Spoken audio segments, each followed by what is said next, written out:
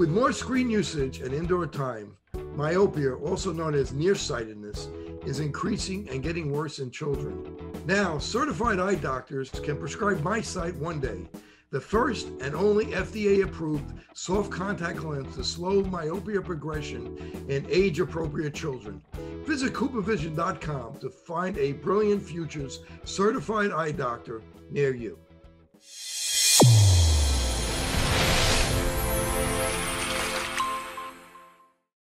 Your eyes and your vision are under attack. Damaging blue light from the sun, your phone, your computer, your tablet, even light bulbs and car headlights is constantly bombarding you. The good news is our eyes actually already have a line of defense to counter the effects of blue light. This defense is made up of three pigments called carotenoids. MacuHealth with Micromicelle, the only supplement with the exclusive patent on all three macular carotenoids and Micromicelle technology. OIE Broadcasting is the emerging leader in social media. We use scientific entertainment to drive more patients into your office. Visit OIEBroadcasting.com and sign up today. Welcome back to part two of my interview with Dr. Jeff Augustine. In this episode, Dr. Augustine discusses refractive surgery, including SMILE, LASIK, and PRK. If you're new here and you like our interviews, press like, subscribe, share, and hit the bell. Also, please leave comments. Be sure to watch our full length documentary, Open Your Eyes, on Amazon Prime, Apple TV, iTunes, Google Play, and YouTube movies and shows. Uh, let's talk about Smile, something that I'm very interested in and something very exciting. Uh, Smile stands for small incision lenticular extraction. It's it's kind of the even though they've been doing it in Europe, I guess for you know over 10 years, it's kind of the new kid in the block as far as the the US, even though I guess it was approved in 2016, 2017, and then 2018 for astigmatism. Tell us what Smile is Walk us through it. Okay, I started working with Smile about six years ago. We were one of the first uh, centers in the United States to start working with Smile. And we had two lasers. We had one in Cleveland and one in Toledo. And so initially when we started working with it, the energy levels and the skill, the surgical skill set associated with doing the procedure was rather, rather difficult for our surgeons. Um, the energy levels had to be adjusted properly. Each of the particular lasers worked differently. Um, we, one, we had one surgeon go to Toledo and said uh, that that laser was great and dandy. We had a, the same surgeon come to Cleveland and we played with different energy levels to, to remove the lenticle. So as far as the procedure itself, the laser docks to the eye and it, it's a femtosecond laser and it creates different planes in the interstructure of the corneal wall. The cap is created at about 120 microns. Then the, then the assessment is made for the refractive error and it goes down deeper and creates a refractive plane. And then a small port is created where that corneal lenticle is actually removed, sort of like playing the game Jenga, where you pull a piece out, the same, the same, the same uh, physical principles behind that. So the surgeon has to go in dock the laser, have the laser do its different types of planes in the cornea, and then he goes in with a spatula and slowly dissects out that corneal lenticle. And you mentioned energy before. Of there's too much yeah. energy, what's the downside? Well, it can be difficult to remove that lenticle depending on energy levels, and also the uh, post-op post-op uh, day one outcome may be affiliated with uh, more severe edema and may not have uh, what you know the wow factor that the LASIK patient had. So we started out, and and I didn't really uh, embrace Smile when we when I first started out six years ago. The patients weren't coming in with the wow factor at that day one like the LASIK patients were, um, and so I wasn't embracing it as much as I you know I thought I would. And it was also limited to sphere back in that time period where we do where, where we weren't, weren't able to do uh, the astigmatism patients with, with the myopia. So that was a limited patient population that I worked with. I think the first year I worked with maybe a couple hundred patients. Uh, then the next year I wasn't really happy with it. It dropped down. And then with the uh, revisions that we had with the energy levels and the expansion of the parameters, then it went up. This past year I've worked with over, let's see, in 2021, I've worked with almost two to 3,000 eyes, and this year we'll probably supersede it at about 5,000 eyes in regards to smile. Did, if the how, patient's if the patient's parameters fit the smile, then I have the patients have the smile procedure versus the LASIK procedure at this point. How is the prescription or the amount of lenticle that's removed determined? Basic, it's the basic thing that I, I talked about a little bit earlier today in regards to the size of the optical zone, the, the amount of myopia the patient has, and it's calculated that way. There's a nomogram for it. So I have a sheet that, that I go to and it'll say, uh, this patient's a minus five with uh, one diopter of astigmatism. Then it goes over and tells me the size of the lenticle that'll be removed. Wow, that's it's fascinating. And and how accurate is it?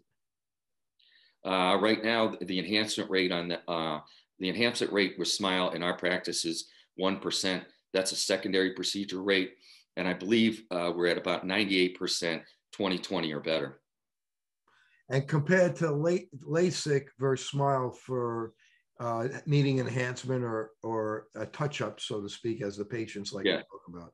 The uh, enhancement rate for smart uh, for LASIK patients in our practice is about four percent. But you also have to keep in mind that it's not apples to apples. When we're working with some of our LASIK patients, maybe they may be mixed astigmatism with hyperopia, so the enhancement rate may be not comparable when, when I'm when I'm dealing with uh, the smile patients, it's all myopia with astigmatism. So it's hard to compare, you know, LASIK and smile on on secondary procedural rates. I'm sure if we were just working with LASIK patients with just myopia and astigmatism, both smile and LASIK would be comparable. And why would somebody have LASIK now over smile, which is an easier procedure to do for the surgeon? I guess that depends on the surgeon. See, I uh, some of our surgeons in our practice um, prefer Smile over LASIK at this juncture. Now, you may have other practices that don't have quite the experience that we have with Smile, and they would they would preference the LASIK procedure. Maybe they don't even have access to a, a Visumax laser. The ones that prefer Smile over LASIK that have done both, why do they prefer Smile? Uh, I think the reason is that it's one laser, one step. Interesting. Rather than two lasers, two steps. And what happens if a patient has a corneal scar or has pannus, which are these abnormal blood vessels that have been in the cornea for usually from overwearing your contact lenses? Yeah, you have to be really careful with uh, patients with corneal scars because uh, using the VisuMax laser, uh, the femtos the femtose spots may be blocked if that's blocked, then it'll create adherences in the interface, so the lenticle will be, will be difficult to remove. When it comes to pannus, I have to be careful with those particular patients because I don't want to get an interface bleed, especially if it's superiorly and it could go into that four millimeter incision site. If you do get a bleed, it can be controlled with uh, and uh, compression on that particular area. Um, but I don't, I don't get, I don't get too I don't get too worried about pannus unless it's unless it's severe. I'm more concerned about the scar and also making sure that there's not a lot of oils that are uh, extruded from around the eye when uh, the procedure, excuse me, when the procedure is being done. So if there is oil, why, why, mm-hmm. what's the negative of the patient of meibomian gland dysfunction and it's producing oil? Well, what that can do is it can block the laser. So it'll block the process uh, and, and it creates a problem with creating that lenticle. So you want to have pristine, you want to have a pristine tear layer as well as cleanliness around the lids and lashes. And the recovery time for each one, LASIK versus SMILE, can you compare that? Uh, recovery times are, uh, well, for instance, you know, I saw about 10 patients this morning. Um, five had LASIK five had smile. The recovery is pretty comparable. They're all functional at day one, but just a little bit different approaches in regards to, um, you know, that first week and how to take care of the eye. But functionality, they're, they were all, all fine. Uh, I think 90, 90% of my patients this morning were uh, 2020 and uh, both LASIK and SMILE. And if there is a scar, is there a degree of how bad the scar is? And would you, which, what procedure would you do if the patient does have a, a scar? Uh, I would lean towards the patient undergoing surface ablation or PRK, depending on the severity of the scar. And how about for contact sports? Is there an issue with uh, with with Smile? No, I tend the patients that are involved with the contact sports. I tend to lean towards, you know, with this point in time, undergoing uh, a Smile procedure if they fit the parameters of it. You know, in years past, um, when I didn't have access to Smile, uh, I worked with a fair amount of patients that had, you know, had LASIK without any any, any problems with that you know, as far as flap goes, but I'm, I was conscious of it. And how long does the, the smile procedure take? About seven to eight minutes, depending on the surgeon. I work with four different smile surgeons. They're all a little bit different. And, uh, but how much, how long is the laser actually on the eye for? No, the laser's on the eye for about uh, 20 seconds at this point in time. Uh, you know, we're going to, we're probably we're going to see some you know in as technology gets better the lasering time the lasering time will decrease. I believe over in europe it's about eight seconds now. And both eyes are done the same day. That's correct. And does the patient feel like they're wearing i've heard like they like they feel like they're wearing swimming goggles for maybe 24 hours? No i the patients i'd let them know that you know, immediately after the procedure, we'd expect them to notice an improvement. You know, it's not Disney World right away, yeah, but they uh, tend to tend to do fairly well immediately post-op. We have them uh, go home and we give them Valium and some Benadryl. They go and sleep for a couple hours. Now, do you use Valium for LASIK and Smile before the surgery, or only if somebody's very nervous? Yeah, we use it. We use it uh, before the surgery for all patients whether it be PRK smile or or cross linking or anything with that. And what are some of the surgical surgeon pearls that the surgeon is thinking about? Uh, some surgical pearls may be, you know, to be um, to verbally coach the patient through it, um, so they able to uh, talk them through. It makes some sort of verbal anesthesia. Uh, our surgeons use also um, whenever I do a, a, a workup on a patient, I have the technicians kind of take them on a field trip into the laser areas so they become comfortable with, with that environment. It takes kind of a fear out of the unknown. So it helps reduce anxiety there. Also, being meticulous around and how to uh, surgical pearls to remove the, the lenticle and make sure that there's no um, residual uh, cornea left. So the surgeons look at that carefully uh, maintaining the integrity of the incision site so there's no uh, corneal abrasions near that site that can help prevent any ingrowth. Uh, another surgical pearl is washing the interface out. Some of our surgeons wash the interface, some don't. So there's been a, a mild debate on whether to wash in that inside that pocket. And what are some of the side effects that we have to look out for? Uh, some of the side effects may be um, uh, regression uh, that may lead towards uh, having a secondary procedure. Also, um, uh, I'm, try- I'm, trying to think. That, any, bad probably, any bad infections or you know, I haven't visual I fluctuations not, or I personally have not seen any infections with smile in our practice and uh, but there's always a risk for that i think um, you know, I emphasize compliancy with lid hygiene as well as compliancy with utilizing the antibiotics properly. Uh, so I not I have not seen uh, any infections associated with the smile procedure in my experience. And the post-op care is it antibiotic steroids? Is it anything different? Yes. It's exactly the same thing as LASIK. And for PRK, about a week. Yeah, it depends on the severity of the refractive error. may extend the corticosteroid additional week. My understanding is a lot of combat military personnel and uh, police are choosing Smile over over LASIK. I have to agree with you. You know, and and uh, so again, also a professional, someone who's a high level athlete and maybe a Division One athlete or a pro- professional athlete, would th- this is obviously uh, preferred over LASIK, and how about compared to PRK? Um, I think you know if we if I have the choice, you know, PRK is certainly a an elegant, fantastic procedure. Um, in, in my experience, I have the patients, you know, with PRK do one eye at a time uh, because the functionality can be can be very difficult for that first couple weeks. So I, I generally space the PRK patients out um, about a month apart on their eyes so that they can get back to work. They can do do one eye at a time. Um, I do like PRK. We also do PRK over top of uh, previous LASIK patients for secondary procedures. We don't lift flaps after uh, two or three years out. We do PRK on top. So that prevents the issue regarding uh, epithelial ingrowth. So PRK stands for photorefractive keratectomy.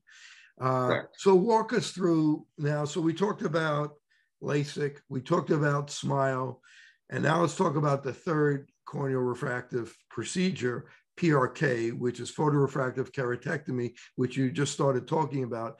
Walk us through that procedure. Uh, how first first thing is how often is PRK being used compared to LASIK and SMILE, and is it is it falling out of favor other than like special cases like you were just speaking about a, a couple of minutes ago? Yeah, I think if you look at uh, our particular practice, um, certainly LASIK and SMILE uh, are practice builders. Um, you know, generally PRK patients um, can be a little bit uncomfortable. They have to have more visits uh, to the practice, and their uh, their uh, functionality uh, initially isn't that uh, doesn't have quite the wow factor of LASIK and SMILE. So with PRK, the epithelium was removed, which is about 50 microns. Then the ablation takes place on the anterior stroma based on the refractive error of the patient. Epithelium is removed in our practice with alcohol. Um, and then a bandage contact lens will be uh, put on the eye. The bandage lens has no prescription in it, but prevents the eyelid from uh, squeegeeing across the epithelium and also helps with pain management. I have the patient utilize four different types or four different types of drops in PRK patients and we also uh, we also give them some pain meds because it can be a little it can be fairly uncomfortable initially when having it. Um, I have the patients utilizing an antibiotic, uh, utilizing uh, corticosteroid, as well as a non-steroidal anti-inflammatory such as ketorolac. I have the patients uh, utilize the ketorolac for the first three days, four times a day. I see the patient at day one. I see the patient at day three. I do a bandage contact lens uh, exchange at day three, and I see the patient at day six and seven for the bandage contact lens removal. At that point in time, I start tapering the patient on the corticosteroid at three times a day for a week, twice a day for a week, one time a day for a week over a month's period of time. During that first three days, uh, I have the patient chill the artificial tears in the refrigerator and have them utilize them every two hours while awake. So that seems to help uh, with the discomfort.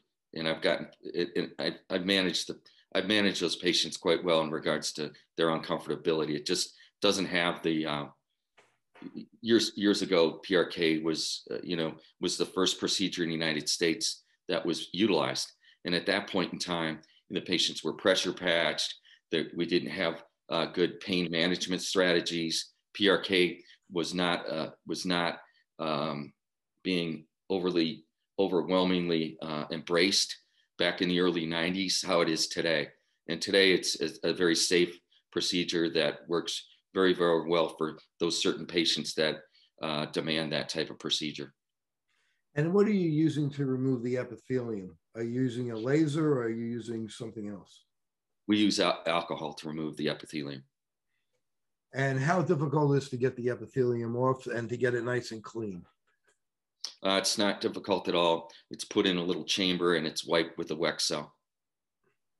And then after you remove the epithelium, then that's when you bring in the excimer. Yeah, they they do they do the whole the patient's under the excimer the whole time.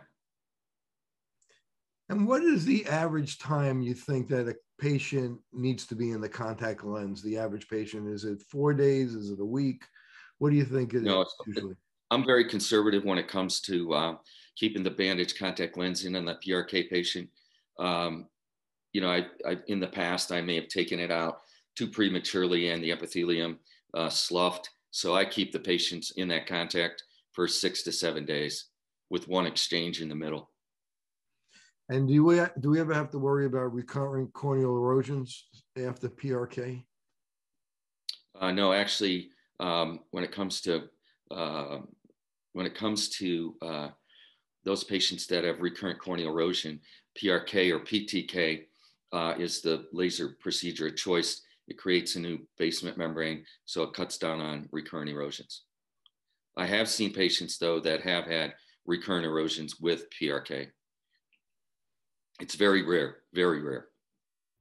MacuHealth, your science born and tested solutions for visual performance, macular degeneration, and dry eye syndrome. New products coming soon. Embrace the science. And as far as thinner corneas, is PRK better for a thinner cornea and a higher prescription? Uh, certainly, PRK can be a, uh, a great procedure for thin corneas, but I don't I, I don't go very on the level of myopia with PRK, I tend to uh, not go with high myopia with PRK due to healing responses. And higher myopia, which procedure would you use with with higher myopia before we get to ICLs? I would lean towards doing a patient with the, either a thin flap LASIK or would be a smile procedure if they fit if they can fit the parameters of it. And how high can smile go? Usually, it can go up to minus it could go up to minus 10. And uh, what kind of thickness of a cornea do you need for that? Well, in order for that lenticle to be removed at a minus 10, it's probably going to be close to 180 microns. So that's a significant lenticular thickness. So in that case, the, the you have to do the math. The, the cap would be uh, 120 micron cap. You then have to remove 180 microns out of the uh, the center of the cornea and, and still maintain uh, 275 microns at the base.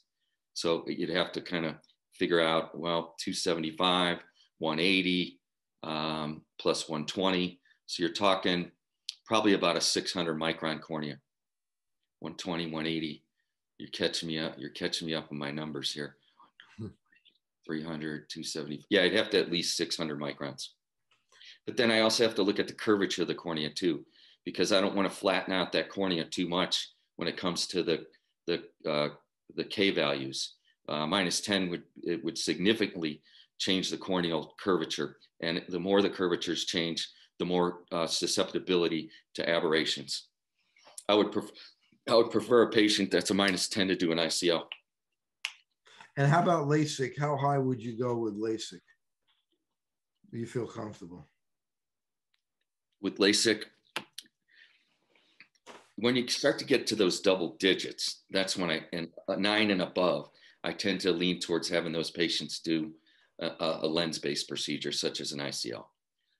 Um, I have worked with, you know, I work with patients minus nine with SMILE and LASIK, but it all, again, it, became, it depends on the pachymetry of that patient in order to maintain the structure of that cornea and the strength you know, with, PRK, patients ask, when can they start watching television? What do you typically tell the patient for something like that? The next day. And how about driving? They're, they're able to what I'm what I do what I do with a PRK patient. I'll have them undergo the procedure on the one eye, and in the meantime, they could wear their normal contact in the opposite eye to correct their vision that way. So that's how they maintain their their, you know, getting back to work and that type of thing you know, they can work, they could watch TV, they go on a computer. Uh, PRK wouldn't slow, it doesn't slow them down. How about for driving? Any uh, restriction? No. If it's a bilateral PRK, then then certainly it is. And what are the side effects that we have to worry about for PRK? Well, you're going to have to be uh, more cautious of infections associated with that. Also, you're going to have to um, be very, you know, meticulous on uh, epithelial assessment and understanding how the epithelium heals um, and, and maintaining a compliancy with drop regimens as well as pain management. So let's move over to uh, phakic IOLs or the ICL, uh, the imp- implantable lenses for the high prescriptions. You know, patients come in, they have a high prescription, a minus 10, a minus 12, and uh, they want something done, a procedure. How good are these phakic IOLs? And is it something that that that is a reasonable procedure for a patient?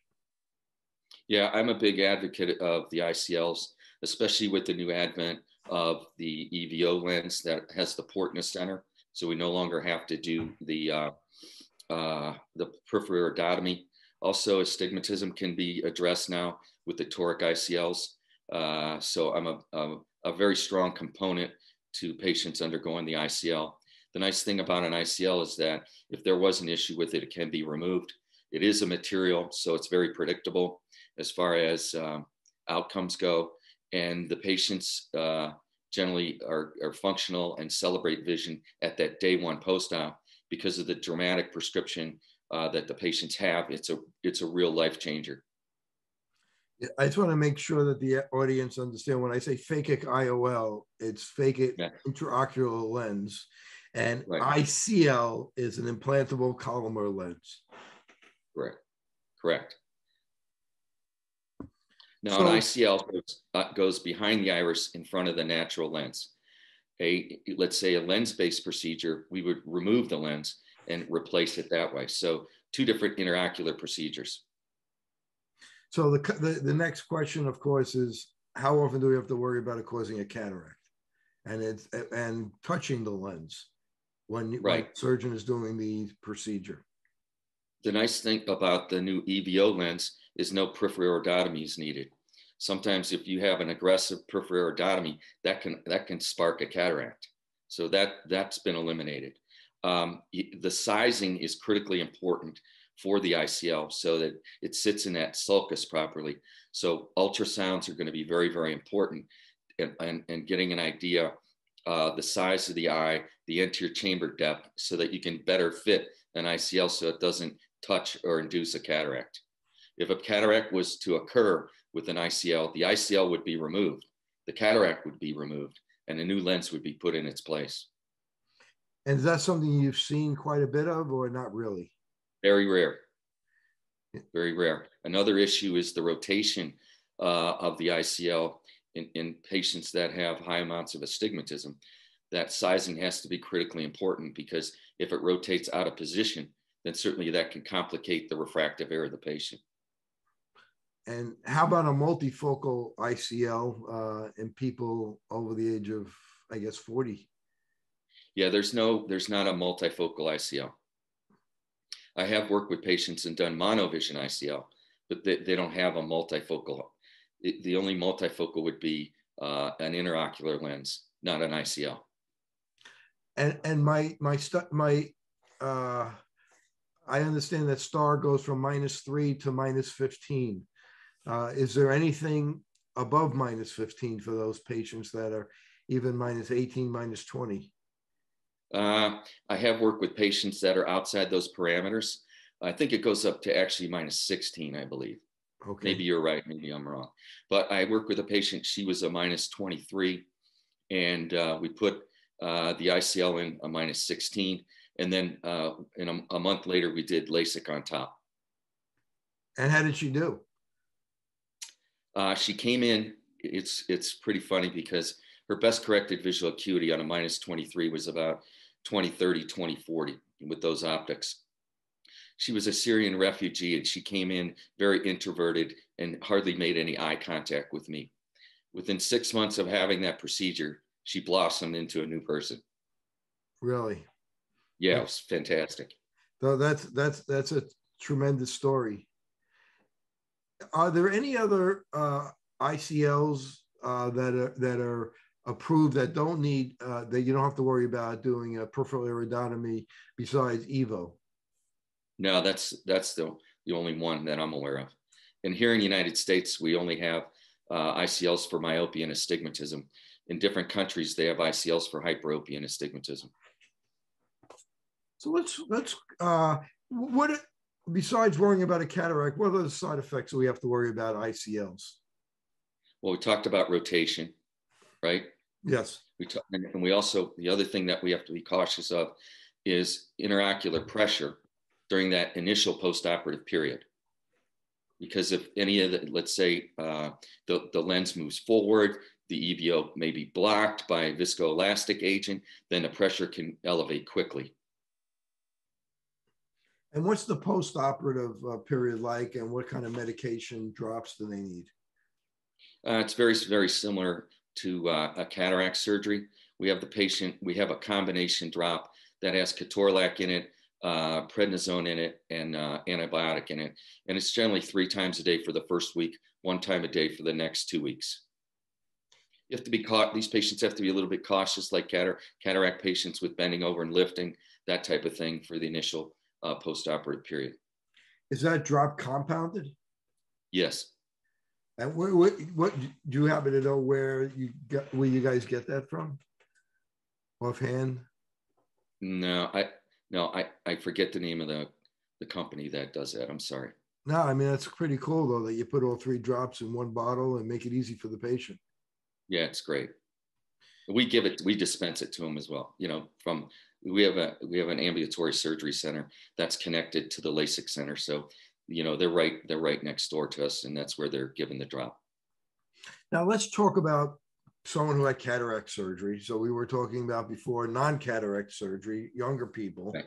and now people get older. They need cataract surgery, and there's great options for them as far as uh, implants, as far as multifocal right. and premium IOLs. Can you talk about those and and your experience? Yeah, the the um, the lens that I've been leaning towards uh, uh, lately is called the PanOptix lens. It's a multifocal intraocular lens, and it's uh, it's kind of the it's been our go-to lens because it's it has given us the most functional vision both distance and near without uh, significant aberrations. So Who that's our that go-to. Uh, might be Bausch and Lomb. I'm not sure who okay. makes it off the top of my head. Okay. So what, what's the what's the, advantage, what's the advantage? It could be an Alcon based one. I'm, I'm not sure. Uh, what's the advantages of it? You were, uh, I interrupted you. Um, because it's giving the most usable vision in this zone here, as well as good good distance vision and having less aberrations at night. So let's talk about laser assisted cataract surgery using the femto in cataract surgery. Talk about the pros and cons of that. Uh, I don't work a lot on that cataract side, and we we no longer use that particular uh, laser-based. Um, uh, we don't we don't we no longer use that. We use Wiley tends to use uh, just phaco only. And what do you think the future is? You think we're going to see bilateral cataract surgery?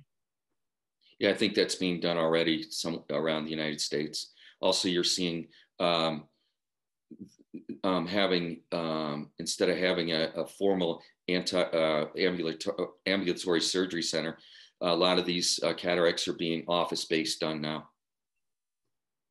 And uh, the advantage and disadvantage of doing office based versus ambulatory. I think the office space may be a little bit more um, maybe more convenient, maybe more economical uh, to the to the practice. Um, we, have we've, we've thought about that idea, but um, we're still you know we're still leaning towards Wiley tends to in our in our surgeries are, are in ambulatory surgery center, and he's he's staying with that. And uh, have you? I think that I think those questions. I think that'd be better addressed by the cataract surgeon than me.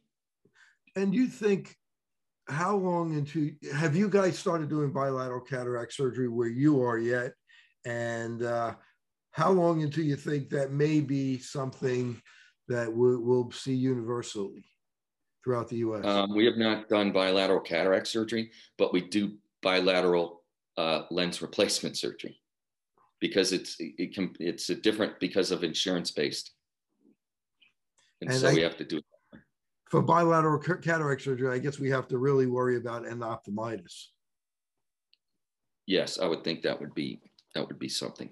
That, that would be something I guess we would worry about. Well, you know, this has been very comprehensive, uh, Jeff. You've been uh, very generous with your time, and you you have tremendous knowledge in this area uh, of surgical procedures. Is there anything that I left out that uh, that you'd like to that that we should talk about? Mm. I, I, just, um, you know, I, we talked highly about Smile, but I, I LASIK and PRK are certainly uh, fantastic. They're all fantastic. They're all fantastic. The technology in, in PRK, LASIK, and Smile is awesome. Um, you know, there's some distinct advantages to to each of those types of procedures. Uh, I celebrate all three of those procedures, and um, you just i'm looking forward to you know embracing the new technologies that continue to evolve in the laser vision world. Uh, uh, from when i started to where i am today it's been it's been an evolution like monkey to man. And it's just been a fantastic ride. It must be wonderful to have such happy patients. Yeah i have a great job. I have a great job considering to be able you're able to remove a visual handicap change a patient's life for the better, uh, that's a, that's a great career. I mean, you talked I love, about. I love that. the celebration of vision. I love the celebration of vision. Day one post-op is it. I mean, you talked about that one patient who was my, over minus 20 and her whole personality yeah. changed. Is there any other patient that you could tell us about that may stand out in your mind that you just, the procedure just changed their life? Well, for instance, I saw uh, I did a workup on a patient. He came in. He was a, he's a football coach, high school football coach, and his refractive error was minus fifty. Minus fifty. Minus 0.50. Oh, half. Right. Half diopter. Half diopter. Uh, not 50, but a half diopter. Okay. So I, I go, are you really, you know, is this really going to be significant for you? We have to look at the risk benefit ratio. Do you wear your glasses all the time? He's like, yeah, I, I want to see my players and it's night and I can't see good. And I said, do you wear contacts? He's like, nope, just glasses only for nighttime driving. I said, the other that, you don't wear them. He goes, no. He goes, but I want the procedure. I saw him this, and he, he was about 20, 30 uncorrected, maybe 20, 25 uncorrected. And I saw him this morning. He had his procedure done yesterday and he's 2015 this morning. And I go, was this worth it? Is this better for you? And he goes, I love it. It's fantastic. So you go from that extreme to this extreme. That's wonderful. And you yeah. know, that's a real type per, A personality, a football coach with a minus a half, and he wants and he wants a procedure. Wants a, yeah, yeah. And which procedure was was done on him? I, I, you might have said it, but yeah. I missed it he had a he had a uh, he had a LASIK procedure done. Wow. Uh, if, if the, the, lenticle the lenticle size on a half diopter would be um, too. I don't even think it. I don't think Smile even does a minus a half. It would be too thin. So interesting. Such a great story. Well, Dr. Augustine, if people want to find out more about you or they want to get in contact with you and your clinic, yes. how can they do that? So you could go to Clear Choice LASIK, uh, clearchoicelasikcenter.com, or you can reach us at 440-740-0400. Uh, uh, there's, you can, that's the easiest way to get, just Google us or Google, uh, or yeah, just easily Google us. We have uh, two locations. One's in Brecksville, Ohio, and the other one's in Toledo. It's called the Toledo LASIK Center, and our surgeons go to and from. The surgeons I work with are, are top notch. I work with Shamik Bafna, William Wiley, and uh, Kathy, Kathy G. Uh, then we also work with uh, another ophthalmologist by name of uh, Arjan Hura. They're all fantastic surgeons. Uh, I've been, and I've been working with those guys for decades. So yeah, it's, you're in a good place when you come see us. Well, thank you, Dr. Augustine. Thank you for sharing your knowledge and this great information that the public really wants to know about, and a lot of optometrists need to know about it. Uh, this is Dr. Kerry Gelb for Open Your Eyes. Thank you for watching.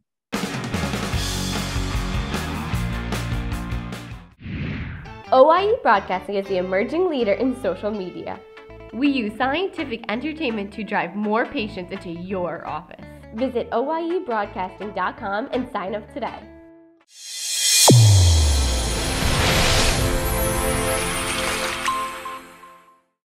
Your eyes and your vision are under attack, damaging blue light from the sun. Your phone, your computer, your tablet, even light bulbs and car headlights is constantly bombarding you. The good news is our eyes actually already have a line of defense to counter the effects of blue light. This defense is made up of three pigments called carotenoids.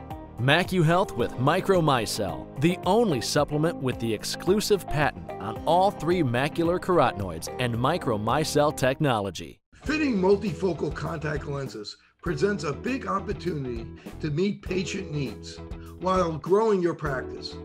Alcon is your partner not only with our innovative portfolio, but through e learning.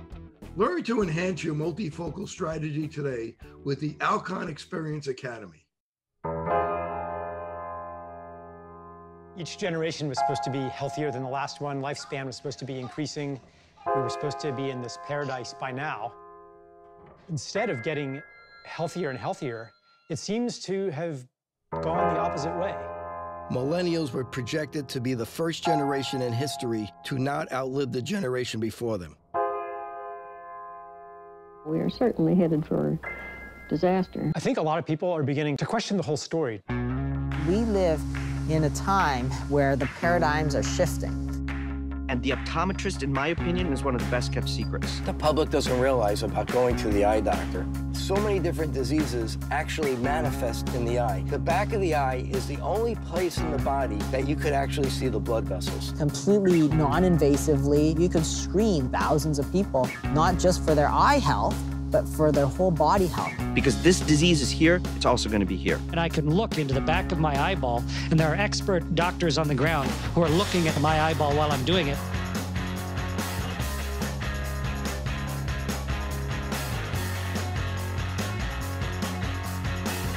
The eye is the canary of the mind. The eye is the kingdom. Will everyone please open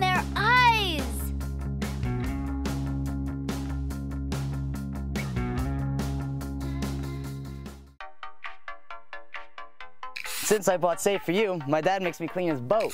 Es natural y es un buen producto.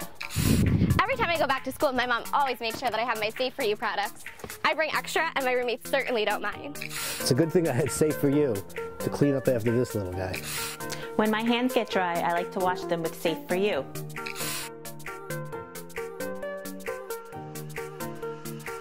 And most importantly, the reason why I buy Safe for You is because it's safe for me and you.